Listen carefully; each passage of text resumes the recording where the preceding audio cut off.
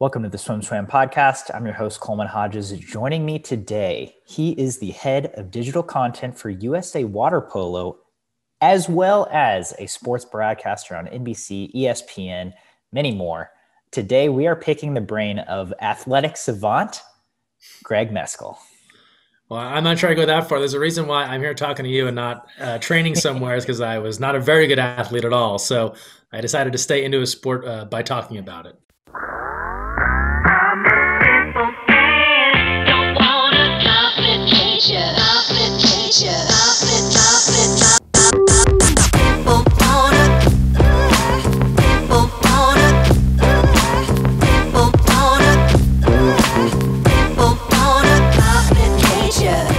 Should be the sports motto. Instead of those who can't do, teach, it's those who can't do in sports, talk. yeah, those who get cut repeatedly from their high school basketball team talk about sports now. I feel that so much. I, I got cut once in fifth grade and I was like, I'm done with basketball. It's just, you know, it's important to own it. You know, I, I, am never going to pretend that I was something greater than I was. So I love sports. Uh, I love to play them still, but it's fun to write and talk and do all that stuff about them as well. I'm, I'm in the same boat. Obviously, that's why we're having this conversation today. We, we, we roped Greg in uh, to to be our water polo eyes and ears and to give us the rundown um, heading into these Olympic Games of of our aquatic brother sister sport um, because because we don't have too many water polo experts on and, and I'm certainly no expert on on the sport. Um, can you give us a quick rundown of just what the teams are looking like, men's and women's, and maybe a few names that we need to know heading into these 2021 Tokyo Olympics?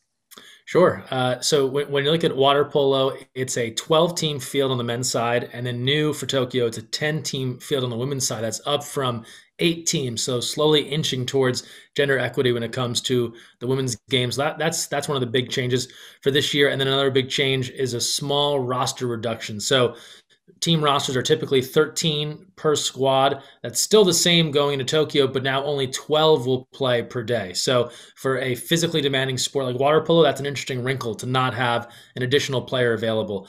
And then as far as the teams and, and the people to know, when you're talking about the men's side, historically, the former Yugoslavia dominant in water polo. So you're talking about Croatia, Serbia, those are your last two Olympic champions. Hungary for a long time, uh, the gold standard in water polo. They won three straight golds, uh, 2004 and 08. Uh, they're often the squads that everyone's trying to beat. Spain and Italy are, are also uh, strong uh, coming in, Greece as well. And then, of course, we'd have to talk about the USA men's team.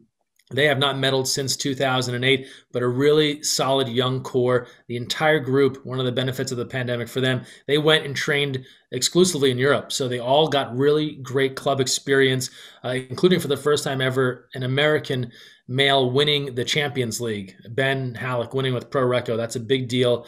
Uh, I've often, over the last couple of weeks, kind of equating him a little bit to Christian Pulisic for those that follow soccer, and that you have an American player playing at the very highest level uh, in water polo. So he was one of four guys that made it to the final eight. And it's a team that I think a lot of people haven't seen a ton of due to the pandemic and then due to them being scattered about Europe. But exciting stuff going to Tokyo, and that uh, they're a young group, they're super hungry, and a little bit reminiscent of the 2008 men's Olympic team, the last one to win a medal, in that they're not highly rated coming in, but they really could surprise some people. So that's exciting stuff on the men's side. And then for the women, it's been the U.S. They they have become uh, the greatest women's water polo program to to ever do it, and I am in no way overstating that. The numbers completely back it up.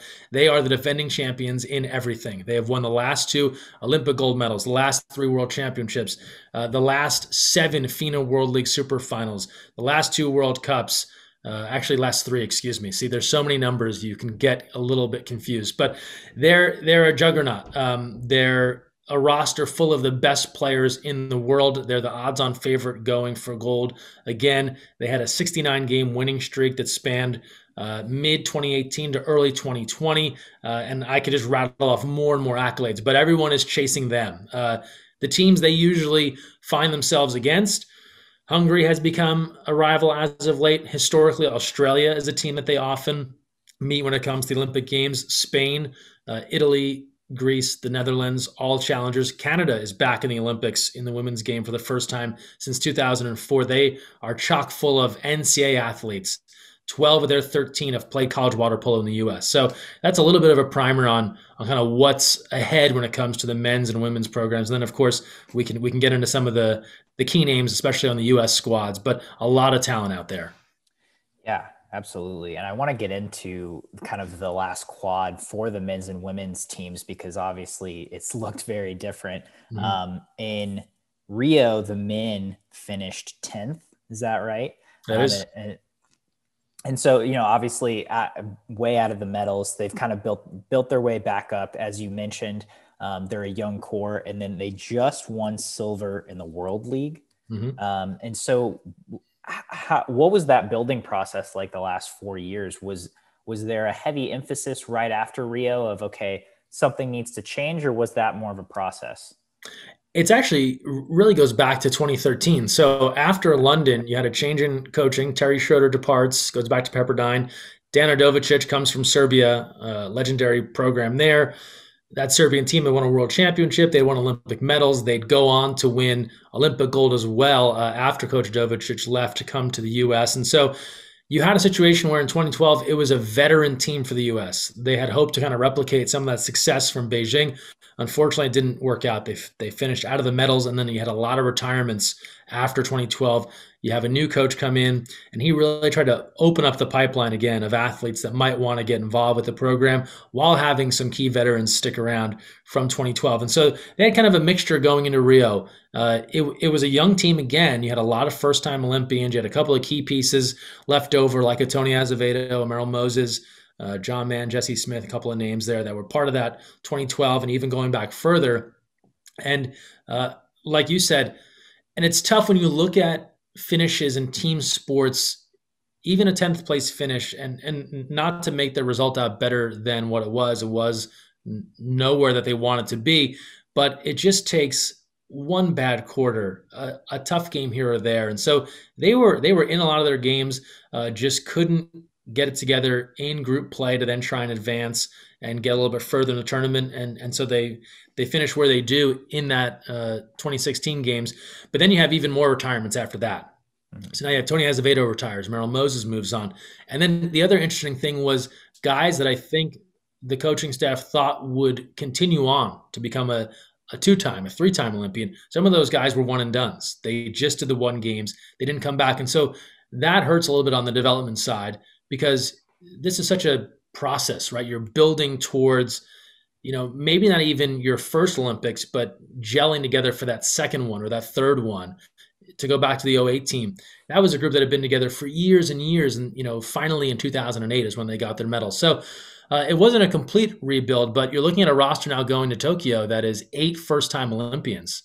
So based off the amount of first timers you had in Rio, that math probably shouldn't check out. But you had people that departed, new people that came in, and then a couple that stuck around, right? Five returners. The veteran of that group, Jesse Smith, headed his fifth Olympic Games for the U.S. team. So he ties Tony Azevedo's record for five Olympic Games, the most uh, for anyone ever for for a USA water polo squad. And uh, so, yeah, a little bit of kind of a second build coming off of Rio, um, but a group that is super dedicated to the cause. And I think that was emphasized by them going to Europe. So that's not an easy thing to do to to go abroad, immerse yourself in a new culture, learn new teammates, a new style of play. But 19 guys of that training group went to Europe, played with clubs in Greece, Italy, Montenegro, Hungary to try and get better and to get high level competition. And so that's really the wild card for me for this group is they've gotten this big time game experience. That didn't happen before 2016. Some people played pro, but not to this extent. And so for everyone to get those high stakes opportunities, and then like you talked about Coleman, the silver medal finish at the World League Super Final, those are some positive trends for the men heading into the next Olympics. Yeah, and and for those for those of us who don't know, obviously I'm well versed but the World League, you know, we, we yeah. they won silver at the World League. What does that mean? What what is so, the World League for water polo? Yeah, the World League is is the second most important event in any given calendar year. So this year you'd have the Olympics being your best event, and then the Super Final or the World League being the next event below that. And next year, the same thing. World Championship will be your most important event. And depending on the scheduling, because it's in a weird time next year, Worlds due to the pandemic. But if they can have Super Final, that again would be your second most important event. Uh, and and really, it is what it kind of sounds like. It's a league, right? And so it's divided up depending on where you're at in the world. So there's the Americas part of it, there's the European part of it, there's other areas. Typically for the US, we don't play much of a World League schedule. Uh, you qualify for that super final, and that's kind of the extent of it. And then you go and play. Sometimes there are America's qualifiers where it'll be an event with Brazil and Canada and maybe Argentina and the US, and you'll try and play that and then advance the super final. But typically, spots are confirmed through other means. And then in Europe, they do play a bit more of a World League schedule leading into the super final. So um, it often brings together a pretty good showcase of top teams in the world, but it also depends on the year. So, for example, in in this year, and this is not to diminish the result for the men at all, but uh, not all the Olympic teams were in the super final. So it wasn't the complete field you'll see in Tokyo, and it's a smaller event. It's only eight teams as opposed to twelve, but it wasn't all the all the top teams from from Tokyo in the super final. So still a fantastic result, a great semifinal win over Italy, a very close finish against Montenegro where they were right there to win it. Um, but it depends on the year to kind of look at that field. It's like any tournament or any meet, right? Who's entered, right? Who's going to be in this thing? And then we can gauge our result off of that and also our chances of success. So uh, a great finish, hopefully boding to a better finish or something on the podium for the men in Tokyo and, and that's a great look at at the U.S. men and the men as a whole heading into Tokyo. Um, so for the women's side, obviously, as you said, U.S. women are just dominant and have been for a long, long time. How how do they maintain that? Right? How how do they just keep, uh, especially with with a sport that sounds like it it does have significant turnover? How do they just keep dominating and dominating? It's such a competitive environment to just make that team. And we've talked a bit about international play and club play. So, whereas in men's water polo, if you're trying to play amongst the best after college or even during your college aged years, you know that Europe is the is the end of the road, right? That's where the highest level games are going to take place.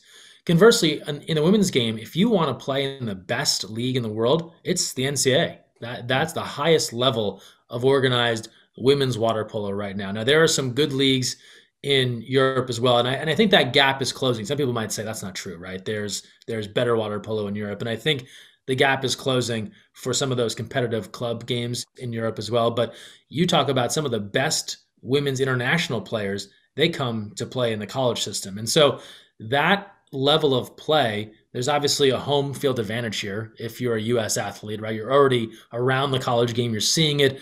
Uh, if you're playing water polo at a high level domestically, odds are you're going to go to college, and so you're getting that experience. And so these athletes are getting high level competition from the jump.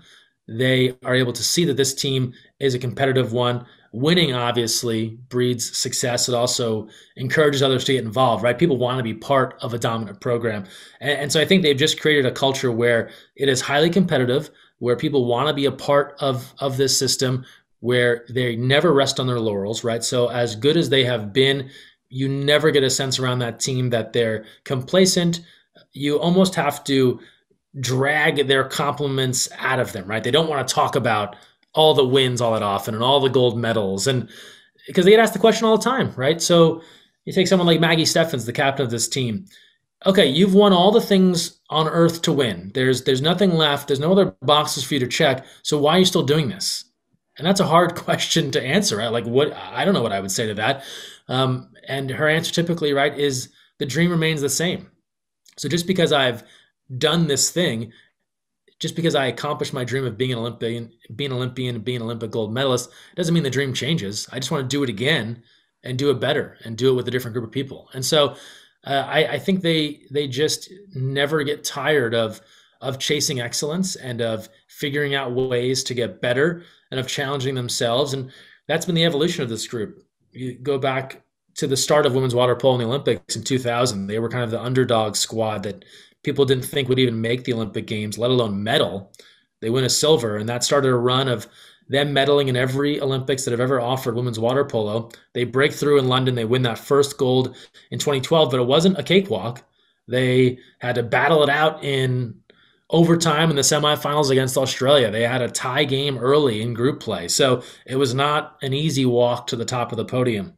But they won that gold. People came back. And then Rio was where they just showed the world what, what a force they can be. So, you know, what's the evolution of that? We're about to find out here in a couple of weeks. How do you how do you build off of excellence? And that's that's really been their quest, right? To not get complacent, to not take their foot off the gas pedal and to keep pushing forward and dominating in new ways. Yeah. And I, I had a podcast with Maggie early, very early on in, in the pandemic. I think it was maybe in April of 2020. Mm-hmm. Um, but haven't haven't had a water polo check in since then. So I'm curious. You, you mentioned the men went over. A lot of the men went over to Europe to train during the pandemic. Was that similar for the women, or uh, as you said, because the NCAA is here, did a lot of those women stay here and did even you know foreigners flock to the us as well to try to train it was actually the exact opposite of what the men did. And so the women stayed at home. They trained in los alamitos california. They were out of the pool for a little while. Uh, for some of them i think the longest they were ever away from a pool since they were little kids and learned to swim i think a lot in the swim community felt that way too. They quite literally fish out of water right? Didn't know what to do. What am i supposed to do on land? I don't, I don't want to go for a run. So uh, they were out of the pool for a while, eventually got back in, and then just kept training with themselves. The college season for the women, it was wiped out in 2020, and then it eventually came back in 2021. But at that point, you're in residential training for the Olympics. And so typically, uh, the women's team wouldn't have competed for those that are college eligible, they wouldn't have competed anyway. So they kind of just kept their head down, kept training. It was a lot of time amongst themselves. They really got to a point late last year, early 2021, where they were just dying to go anywhere and play anyone but themselves. Pandemic scheduling, we all know what this has become. They had things lined up, then they would fall apart. They thought they were going to meet up with Hungary in December, then it didn't work out. They thought someone else was going to come at a different point, didn't happen. Eventually, early earlier this year, they went to Hawaii just for a week of training, just I think to be somewhere different, just to get a change of scenery, stop being at their facility for so long because remember now the pandemic arrives in March 2020 in, in their minds they're in the home stretch. This is this is the end of what had been a ton of training going back to 2019 they'd really been together since early 2019 through the summer worlds and kind of kept after it there into the fall. And so uh, to think that you have to kind of continue on and prolong this journey so many Olympic athletes had to figure out. Uh, it's quite a test. So they get to go to Hawaii earlier this year, and then things start to open back up. They host Canada, they host Hungary, they go to Spain, they go to Greece, they host Russia, and and that's really kind of been their path. So a lot of time at home, not the typical travel, and I think both teams and almost all national teams going to the Olympics have run into this problem. Not the same amount of games. You would typically at this point have played I don't know, 35, 40 matches going into the Olympic Games. The women right now going to Tokyo, south of 20 games played in this calendar year. So there just hasn't been the time to understand what your team looks like. And it's like anything, peaking at the right time. So I think that's that's a big question mark for a lot of these teams too. Uh, what what will we actually look like when it's go time in Tokyo, knowing that we haven't had all the typical amount of preparation and evaluation we would have liked? And so that that raises a, f- a few good questions and a few logistical questions that I'd like to get from you now that we have you here. For those of us who may be water polo novices, first of all, as a, as a water polo player, as water polo athlete, how do you make the Olympic team? There's 13 spots, as you said. Uh, what is that selection process like? Obviously, I'm guessing it's a little more subjective than maybe swimming, where where top two go and that's that. Correct. It is uh, very very different. Uh, it is not as clean cut as i i make the certain time i'm in right? Um, and it's a situation where you're always trying to make the next roster. So i think that's a, a bit of a misconception and i know the athletes deal with this a lot where they make the Pan American Games or they make the World Championship roster a year out from the Olympics, and a lot of their friends and family are like, "Great, we'll see you at the Olympics." And they're like, "No, not at all. Actually, I still need to make that team." So it is constantly a, a situation where you're being tested. Uh, it's it's long term evaluation, right? There's there's a coaching staff, high performance department, all that sort of thing um, that are looking at the athletes over a long period of time. So it's not just one game or one moment that makes or breaks it for an athlete, but it's the sum of all their work. So you think about the start of a new quadrennial, typically four years, in this case, five.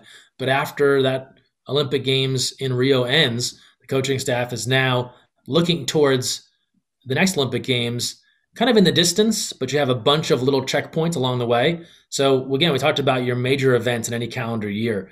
Two at least in any calendar year. Your super final and then something else, right? Your world championships, your World Cup, whatever it might be. Every athlete has to battle to make those rosters. And so I think you're trying to hit those mileposts along the way. I, I make this roster, then I make that one, and then I make the next and the next.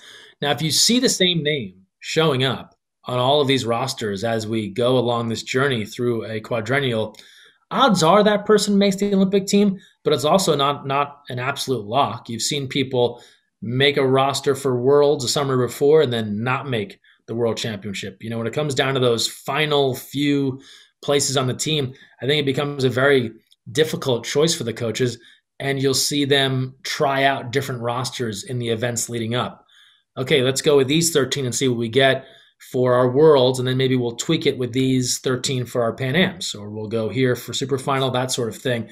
Um, and and again, it is a uh, it's just kind of a cumulative thing over time where there isn't, and I think this is the hard part for team athletes across the board in any team sport, where there isn't a clear cut mark to hit. That's actually the beauty of swimming and of track and field and of these sports that are timed where it's clear. I i just got to win. I just have to come in second place. I just have to make this time. I know what i'm training for right? I just need to get here and then i get there.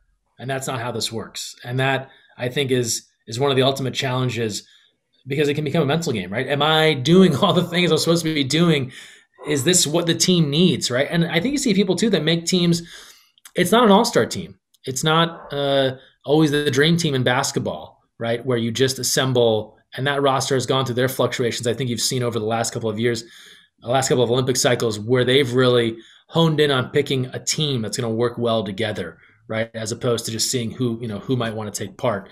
Uh, and it's the same thing in water polo and a lot of other sports. You need to assemble a really strong roster of people that are going to be able to get this job done, not just the ones who can fill up a stat sheet. And I, and I think both U.S. squads have examples of that. If you looked back to the the college career uh, of someone like a Kaleigh Gilchrist, for example, on the women's team, never won a Cutino Award, which is you know the water polo's version of the Heisman. Uh, as as as the best player. Uh, you know, never even a nominee as far as I could tell. Was you know was a really really good player, right? But was not coming out routinely, you know, dropping six goals on on people every game out, but fits what this team needs, right? And has gotten better as time has gone on. And I think you see a lot of people like that in the water polo world where they find their role. Uh, you know, the Olympic team doesn't doesn't need 11 men or women to score all the goals, right? They need other pieces to fill out the roster. Uh, and, and, so that's a long way of telling you, right? It's just um, it is an interesting process and one that is uh, a challenge for all the athletes and the coaches. And they're looking to build that team that's going to give them the best chance over over a two week tournament. Uh, and obviously, the water polo athletes and coaches know this is coming, are used to this process. As a swimmer, that sounds awful. I, w- I would hate sure. to be in that process, but again, I'm sure they're used to it. Makes sense in a team setting. Well, and it's different too. You get to this level. If you're at this level, you have progressed through life so far, making all the teams probably pretty easily. Not only making them, you probably start and do the bulk of the heavy lifting. Okay. If you have gotten to this national team level, yeah, and even college, you're recruited to play, and and this is the funny thing about the national team too, right? College, they they want you, right? Please come here, join this team. You're on the roster. Your playing time might waffle back and forth, but provided you're you're a good member in good standing, you're on the team. You're not you're not going anywhere. Mm-hmm. And then it comes the national team, and now it's you want to be a part of that. You know, in some cases they would certainly love to have you, right? But you have to prove you belong. It's it's really the flip of the whole recruiting thing from college, where now it goes the other way, and you have to really prove yourself that you should be part of this because everyone wants to be part of it. That's a good point. Yeah, and I again, I, I don't think about that for swimming because yeah. it, you just make the time and then you're yeah. that, that's how you get on the national team. Yeah, that's that's really interesting. Um, and but I mean, even with swimming, right? You still have to want to do it. There's no shortage of people that would happily take take your spot if you didn't feel like putting in the work to go and then earn the times, right? Someone else will happily just. You saw the trials this year, right? There are plenty of people that would happily have been like, "Yes, please move me up one. I will take the spot." very true. Yeah. Uh, very true. It's so moving forward from that, getting to the games. I, and I know this is going to sound like it's do I, I, I don't know anything about water polo and so since we're doing this I want I want our audience to get the full scope how does the tournament work once you're at the Olympic Games? What's the format of of of of it, and how do you win a medal? Yeah, uh, so it runs the entire time. Water polo really starts right after opening ceremony with the first women's game, and then uh, alternates. So men's competition, then women's, and we alternate back and forth until it's done.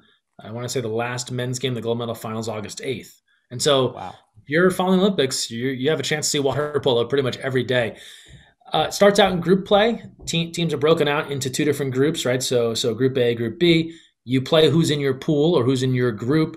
You you vie for standings, right? Uh, to to finish, you know, in the top part of your group. Then you have a crossover. So it'd be something like, and I, I don't have the schedule in front of me, but something like the first in A group would play the third place team in the B group in kind of your crossover, right? And then that crossover is is huge. It's monumental, right? Okay. That's your, uh, I guess that'd be kind of like your prelims to get into the finals, right? The trials, right? Like you you can't be in the mix if you don't get into the mix. So you have to make sure that you advance to get into the semis, to get to that next round, right? Uh, past your past your crossover, uh, and then you'll have yourself an opportunity to play for a medal, right? And if you don't, then then then you're on the outside looking in. So really when you come into an Olympic Games, it's like you're looking right in front of you, but then you're also looking a little bit in the distance because you know you have to perform well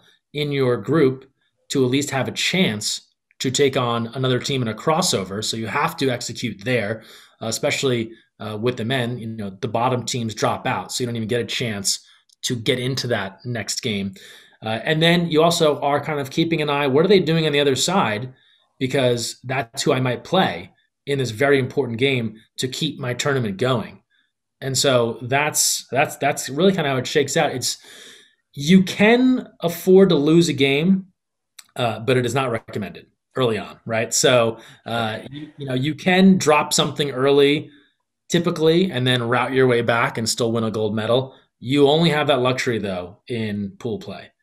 Uh, and so you, you know you really are looking at that schedule and your group and your draw and plotting you know how will this go and you know what what can we do and for both U.S. teams and this is interesting now with no fans allowed it was going to be a different wrinkle I think when there's only going to be local fans mm-hmm. but both U.S. teams open with Japan in Japan but uh, that would have been an a more interesting environment I think with a very pro home crowd uh, just kind of the energy around it and so I think as an advantage to the U.S., there's going to be a little bit of of the air taken out of that balloon when they open up. Sure. Yeah. It, the, the I mean, the no crowds has been something we've been covering for a long time. I in water polo, the heads of heads are above water, so I'm guessing crowds make a pretty big difference. Totally. Yeah. You can you can hear that and feed off the energy and Water polo is a sport where it is very popular in certain parts of the world and not so popular in others. So I say confidently, every one of these athletes has played in front of a ton of screaming fans, and they have also played in front of absolutely nobody, where they have been able to play where they could hear the 10 people that are there hanging out, or maybe the team that's waiting for their next game Uh, there have just been some tournaments where if you're not the local team, the fans aren't showing up. You know, so so we've seen this even in the U.S. We'll host an event, and for the U.S. game, everyone is excited. But at 3 p.m. on a Tuesday, not a big crowd for Kazakhstan versus Australia, right? Understandably so. No offense and none taken, right? It's just the way it kind of works out depending on who the fan bases are. So I think they're used to a little bit of both. For those that have been to an Olympic Games, it's going to be strange. I think they're used to the energy. Olympic events, even if you're, you know, not a, a big water polo person, people just get tickets. They just go to things just to just to see them. Typically at the Olympics, so there was there would always be a crowd, and so that'll be a very a very different feeling when these games start. Are, are there what are water polo fans like? Do they get rowdy?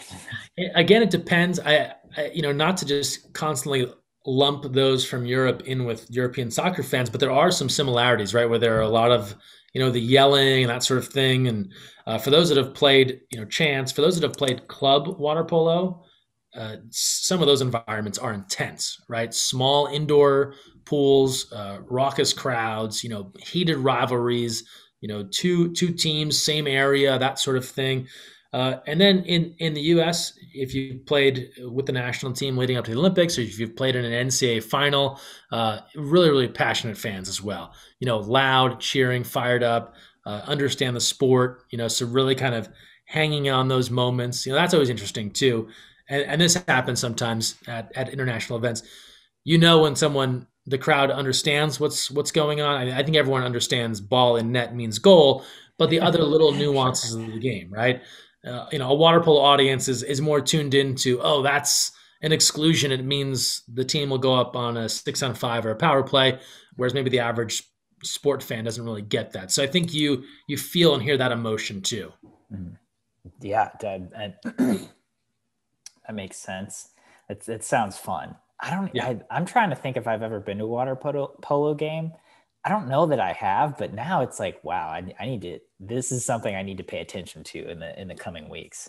Yeah, I, I would say. I mean, obviously, certainly tune in, and then uh, if you have an opportunity to go to an NCAA championship final, you know uh, this this fall the men's season is back on, and you know I think expecting fans at all their matches, and uh, the NCAA championships coming this December. I believe they're at UCLA.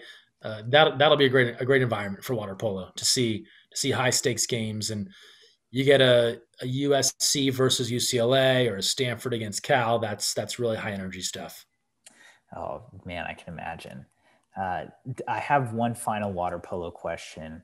Sure. Which is, you mentioned you want to peak at the right time, and I'm always curious about this for team sports. But you know, obviously for for swimming, for track and field, it's like we have taper. You know, mm-hmm. you you you you come down and then you try to race your fastest. What what is what does peaking at the right time mean for a water polo team, and is there a resting process for that at all?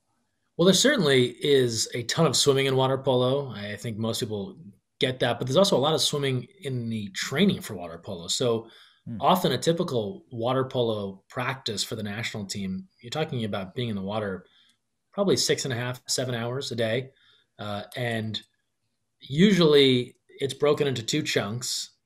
So three and three, something like that, morning and afternoon. And sometimes that morning is is really just a lot of swimming and conditioning. Maybe maybe some long course, that sort of stuff, uh, treading, just really grinding it out in the water. And then maybe the afternoon is a bit more of your tactical stuff. And it kind of depends. You know, that's kind of the women's schedule. The men sometimes would go maybe a longer block in the morning, you know, four four hours in the morning that might include some weight room, and then go for two hours in the evening. So it just kind of depends on the coach and the staff. But I, I think a, little bit like uh, elite swimming, you're not going to have the crushing swim workouts as you get closer to the Olympic Games, right? So you want people fresher. I think it becomes a bit more tactical, the water polo practices, as you get closer, really drilling those plays, right? We want to be perfect on our six on five, which is which is a power play in water polo. It's a it's a huge part of the game, right? You have your your player advantage. You want to be able to execute there and and just know that like muscle memory, where you're not even thinking twice about where to be. Uh, w- working on other tactics, uh, counterattack, uh, things like this, right? That are very uh, germane to water polo that are just important parts of preparing for high level games. So I think that, and then I think other games, competition, wanting wanting to be executing at a high level as a team. That's something all these teams are looking for. And that's why you see a lot of competition leading right up until before departure, trying to get that super final, then trying to host other common trainings, go to other countries, play other teams, get yourself into a rhythm, especially this year where you haven't had that opportunity to be together. Uh, all the more important. So, looking for a good number of games so that you're just well rehearsed. You know, think of it like a, I don't know, an orchestra, right? That kind of all works well together. Uh, they want a lot of practice time and kind of a lot of simulation of the real thing before the audience shows up to hear what they're about to do. And so I think that's the same thing for water polo. Uh, but but it's that right balance, not too much, right? Not everyone burnt out. And so you see a lot of that, and then I think you see things kind of uh, dialed down a little bit right before they depart, and then they'll do. You know, typically both teams and the U.S. teams are doing this. Uh, the men are training. The U.S. men are training with Australia uh, in Hawaii before they go to Tokyo, and the U.S. women are training with the Netherlands in a different part of Japan before they start competition. And so you get that little bit of common practice and uh, no no official matches or anything, but a little bit of that competitive nature in practice, kind of your final thing. You know, if you've ever seen a, before a boxing match, right? Maybe do a couple of quick sparring moves or kind of hit the hit the bag a few more times before it's time to throw on the robe and walk down the aisle. That's like what this is before it's time to actually start this thing. That is so cool. I, I, I wish we did that. Like we, this swimming has just finished their Olympic training camp in Hawaii. Now yeah. they're headed to Tokyo for like their their last few punches on the bag. Mm-hmm.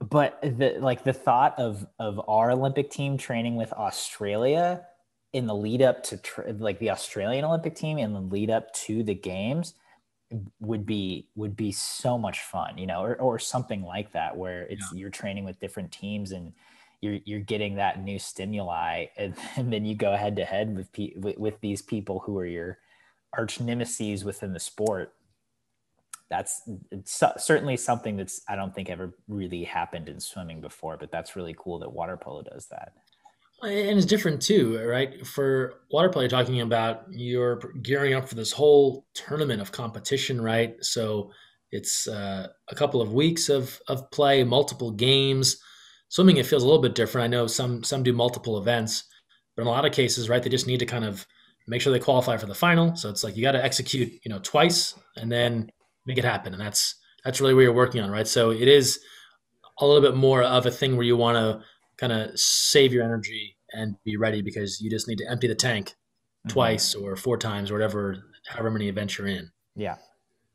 That, and that's a great point as well. Uh, it, I, that brings me to our final point, which is you you have uh, knowledge in not only water polo but quite a few sports. You, have been broadcasting sports for quite a while now. Um, you you go to these Summer Olympics, but then you also broadcast during the Winter Olympics.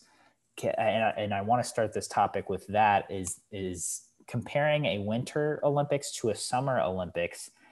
Obviously, the sports are much different. I'm sure the cultures are much different but you see you see one side of it um, with the team and then kind of another side of it from the broadcasting side can you compare and contrast viewing viewing sports from those two lenses well i would say the winter games and i was lucky to go to the last one in pyeongchang in south korea uh, covering freestyle skiing snowboard uh, that sort of thing uh, very different from being inside a pool uh, for sure but it's a bit of a smaller event. The Winter Olympics are not as large as the Summer Games, but otherwise, it's a, it's a lot of the same energy. Uh, you know, a, a, lot of the same feelings of you know people coming together from all over to kind of chase after a common goal. The hard work is the same. The sports are certainly different. It, it definitely is a you know a colder environment. It's a bit more out outdoors focused, that sort of thing. Um, depending on the sport you're you're covering the culture is a bit different too right ice hockey traditional team sport you know figure skating there, there are team elements to it right but a, a bit more individually focused uh, snowboard freestyle ski those sorts of things similar right team uh, but individual elements also though a little bit newer right so there's that younger feel to it you know even though there are some veterans that are competing in in it as opposed to some of the stalwart sports that have been there forever. So it was a totally different experience, uh, but but a lot of fun. Um, I've, I've always tried to look at all of these sports, whatever I'm calling or covering, from both sides of it. Uh, I, I've worked in media for a long time, you know, behind the scenes in television and then on camera, and I've done radio and a bunch of other things. And so whether it's you know helping in the coverage of these water polo athletes or calling a game myself, you know, I I, I know both sides of it. I always try and look at it like what's going to help the other side as they're trying to cover this thing. Uh, so if someone's trying to tell a story about a water polo player for the U.S. and I can try and help them help them tell that story, I have a good idea of what they're looking for. You know, what's going to make this two minute news story work well for their local station, or is this a bigger piece? Is this going to be a five minute feature on CBS or the Today Show or something like that? And so, what do they need? What are the elements? Uh, because conversely, when I'm calling a game or doing an event and I'm the one tracking down the interview to talk to someone or asking them questions in a mix zone, I always think, well, what would I like to know in that scenario, or what what would it be that I want to ask somebody? Uh, and so that's been fun. It's been uh, a strange mixing of those worlds, but uh, it's it's been great to kind of have, especially as, as as these things have just really merged so much more when it comes to content creation and all of that. You know, there used to be very defined lines. You know, even before my time, you go back years ago, where it was this is over here and this is over here, and now it's uh, kind of all jumbled together. And so, um, the more versatile you can be, the more understanding of I think what everyone's trying to accomplish in their storytelling, uh, the better it is for the athletes. Right? That's what we're here to focus on. We're trying to tell their story and highlight their efforts and all that sort of thing. So, um, you know, the the more complete of a job we can do on that, I think, uh, the better it is for them, for the fans, for everybody. I, I think you said that really wonderfully. That we certainly recently with social media, with technology growing, um, with with how we tell stories really changing drastically in the last five to ten years. You have seen those two sides connect and converge um, because because before that it, it, it wasn't right? It was very black and white and now there's this huge gray area where you are telling the story. You're the one telling the story but you're also the one procuring the story and speaking with the athlete. And um, what what appealed to you about doing being on both sides well, I, I, think broadcasting has always been uh, my my number one love and the thing I you know I've I've been after since I was probably 13 years old. So it's you know it's something I've I've always been into. Uh, we, we, were joking at the top, but it's true. I one help of of it being made very clear that I was nowhere near an elite level athlete as a high school kid or a middle schooler was I could really change gears quickly. Right, there was no there's no fantasy of playing a sport in college, and so uh, you can put that out of your mind and then get into the other stuff, right? And and for me, that was writing and reporting and broadcasting that sort of stuff. Um, and we're, we're just hitting on it. It's kind of like minor league baseball in a way. My my involvement with water polo in that you know so often you kind of broadcast about the team, but you also kind of promote the team in a way as well. You're you're kind of sharing some of the content. You know, you're working on the videos, the interviews, that sort of thing. Um, and so that's really how those kind of worlds just kind of naturally merge together. Um, but it's been fun too. You know, I never want to feel like I'm just doing one thing. You know, so it's great to as much fun as I have in the aquatics community. You know, and I I covered some diving in Rio as well, uh, talking to some of those uh, athletes after uh, their events there, um, both at the indoor venue and then at the outdoor one, uh, which was an interesting facility as well. Some might remember the green the green water there in Rio, so that's that was unique. But um, being able to go out and cover and call college basketball or the new fan controlled football league or the Winter uh, Olympics, right? Um, it's just fun to you know to not just be one thing and not and not be pigeonholed and to be able to bring that energy and excitement to a variety of mediums. And that's still what I'm after. Um, that, you know, we were talking about it earlier, right? You feel like you've done some good things as an athlete. What keeps you going forward? There's still more to do. And it's the same for me. There's still a lot of things on the bucket list to, to call and to cover. Um, it's been fun so far, but it's, you know, it's going to be more fun to kind of continue to keep doing those things. I'm in the same boat with you there. I my job with Swim Swam allows me to wear a lot of different hats um, and and and diversify my portfolio and what I'm doing, who I'm interacting with.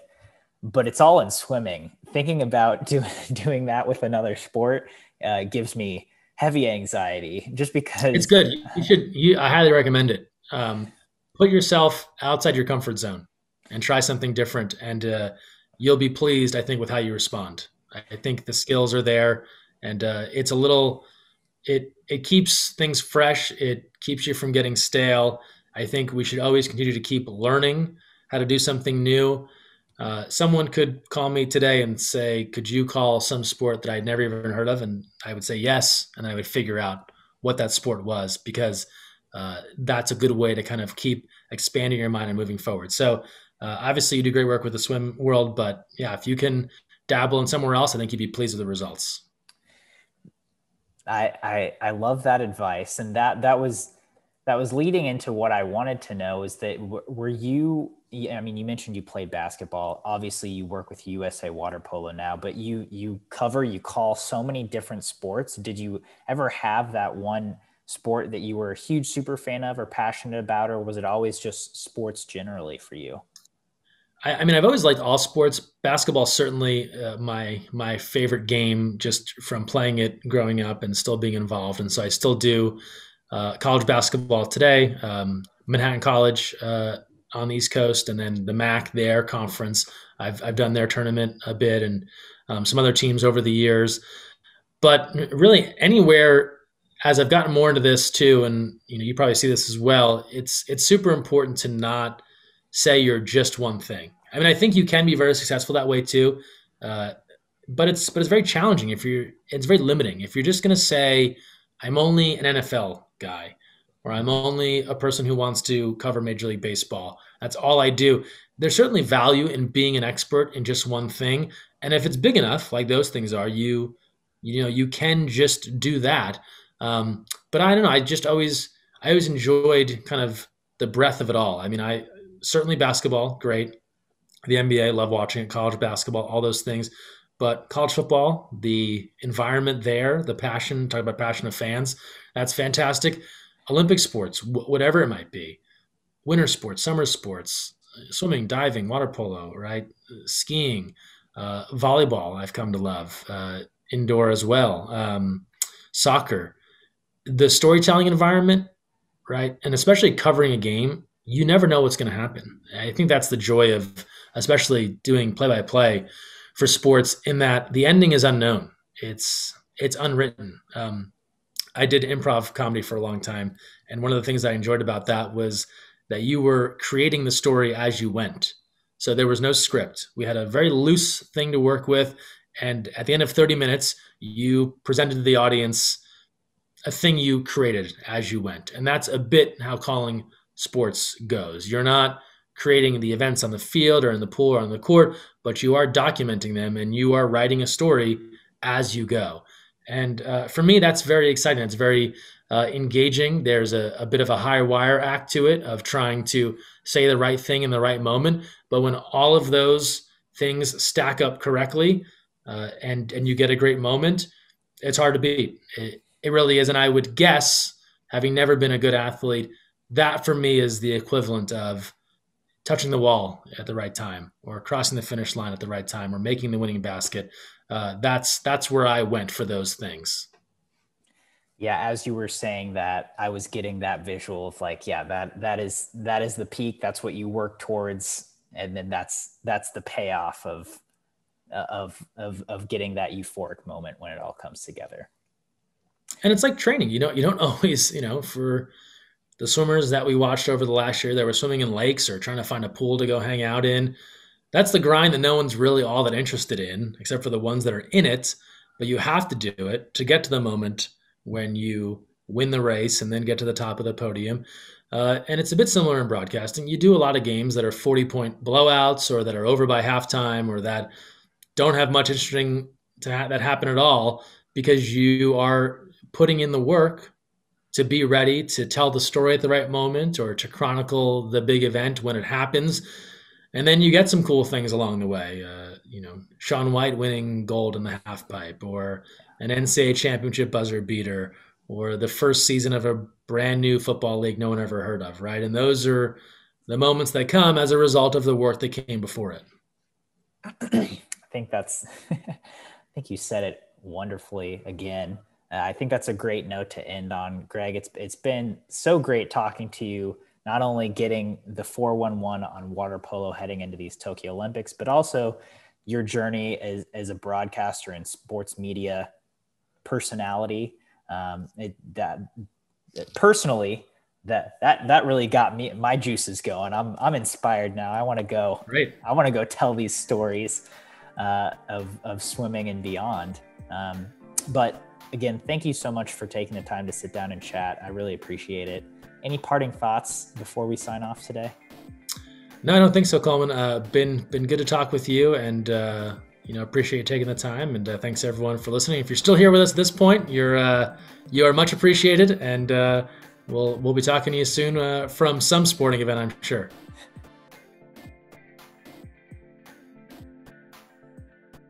You've been listening to the Swim Swam podcast. Stay tuned for new episodes every week. You can take Swim Swam podcast on the go by subscribing on your favorite podcast platform. Look for links in the description below and be sure to subscribe to our YouTube channel for more videos as well.